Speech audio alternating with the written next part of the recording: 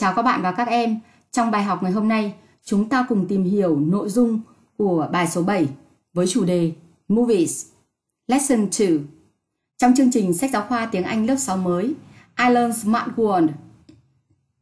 Các bạn và các em thân mến, để chúng ta có thêm bài giảng tham khảo, các bạn và các em hãy tìm chương trình chương trình mới trung học cơ sở trung học phổ thông trên trang YouTube. Hãy đăng ký và theo dõi. Trên kênh sẽ có rất nhiều bài giảng thuộc các môn văn hóa cơ bản khác nhau để chúng ta cùng tham khảo. Bây giờ chúng ta cùng quay trở lại với nội dung của bài học. Unit 7 Movies. Lesson 2 Period 3 Practice and Speaking. Chúng ta đi vào phần thứ nhất, Practice. Nhiệm vụ A.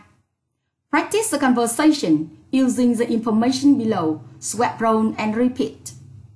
Hãy thực hành đoạn hội thoại sau. Sử dụng các thông tin dưới đây. Hãy thay đổi vai và tập lại ở đây chúng ta thấy trong đoạn hội thoại có bạn Rosie và bạn Ted. Vì vậy, khi thực hành, chúng ta thực hành theo cặp.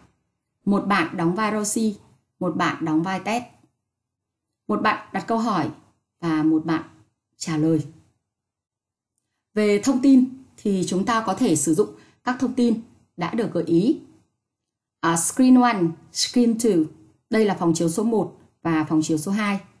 Có đầy đủ giờ chiếu, tên phim, thể loại phim. Và phía dưới đây là các tính từ chúng ta có thể sử dụng để nhận xét về các bộ phim mà chúng ta đã xem. Để thực hành cho dễ, chúng ta để ý và chúng ta thấy đây có các chữ màu xanh. Với các chữ màu xanh này, chúng ta có thể thay đổi. Phần thứ nhất, A Drama Last Night. À, chúng ta có thể thay thể loại phim ở đây. Uh, Remember You. Đây là tên của bộ phim. Chúng ta có thể thấy chúng ta có thể thay tên của các bộ phim ở đây. Và yes hoặc no. It was wonderful hay terrible vân vân. Thì đấy là tùy theo quan điểm đánh giá nhận xét của các em. Còn về thời gian chiếu phim thì chúng ta thấy à, đều ở dòng thứ nhất của từng phòng chiếu một. Các em có thể thực hành theo cặp và thay đổi vai cho nhau. Thực hành được càng nhiều càng tốt. Chúng ta sang nhiệm vụ phần B. Practice with your own idea. Hãy thực hành với quan điểm riêng của bạn. Ở đây là gợi ý cô đã thay đổi dựa trên một dựa trên các thông tin đã được đưa ra ở phòng chiếu số 1, phòng chiếu số 2. Ở đây cô lấy tên phim được một loại phim được chiếu ở phòng chiếu số 2. Đó là phim hoạt hình Teddy Bears vào lúc 10 giờ 10 buổi sáng. Cô thay đổi như sau. Mai, hay chỉ, I watched an animated movie yesterday. What was it? It was teddy bears. Was it good? Yes, it was fantastic. What time was it on? It was on at 10, 10 a.m. Thế là các em có thể nhìn thấy những chữ màu xanh là những chữ chúng ta có thể thay đổi.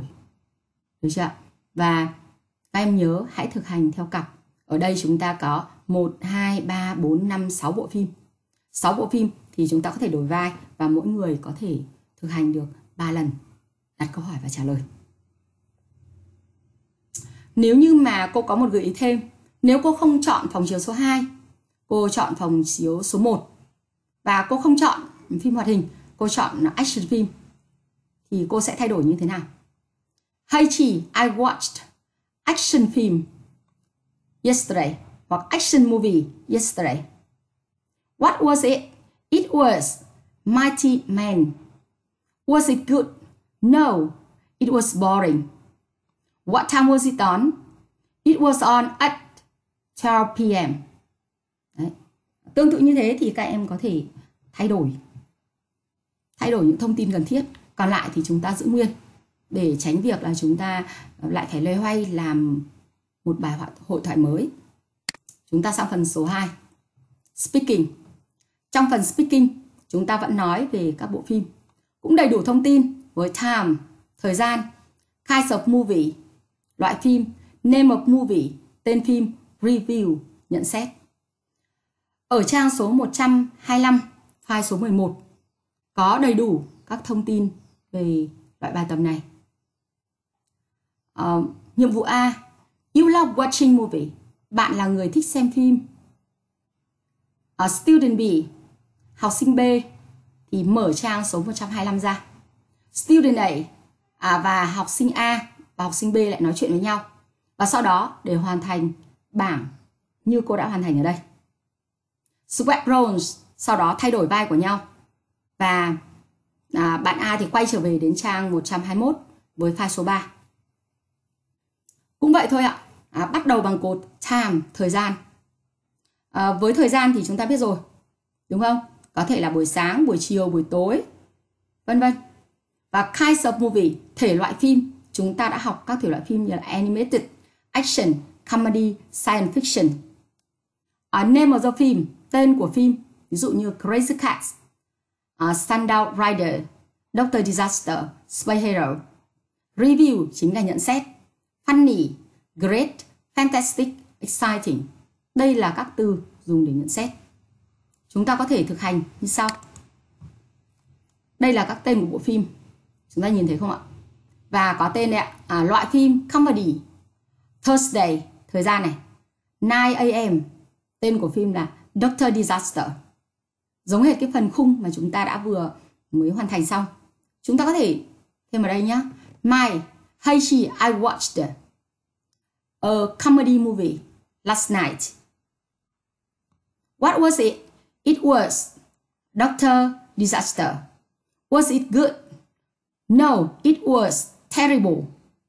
What time was it on? It was on at 9 a.m. Thursday. Thế và chúng ta thấy là chúng ta có thể thay đổi. Đây chính là các cái ừ, thông tin về các loại phim và bộ phim. Được chưa nào? Chúng ta có thể thấy ở đây này. Đó. This morning, comedy, Doctor Disaster, fantastic. Và chúng ta có thể thay vào những thông tin mà chúng ta đã đánh giá nhận xét đây cũng được. Được chưa nào? Rồi chúng ta sang phần tiếp theo. Ở đây chúng ta có nhiệm vụ B này.